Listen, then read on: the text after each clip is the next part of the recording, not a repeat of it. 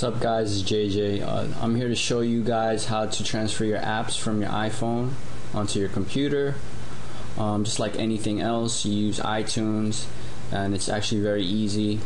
Um, connect your iPhone to your computer, open up iTunes. Once you have iTunes opened up, you go to File, Transfer Purchases, and you'll see at the top that it'll begin transferring all the apps from your phone to your computer. So that's pretty much it. If you want to look at your apps, you can click apps here on the left and you'll see all the apps that you've downloaded in the past. In the event that you need to restore your apps again, you could always plug up your iPhone, click on apps, check sync apps, then you can choose whichever apps that you need to restore. Then click apply. That's about it. I hope this helps.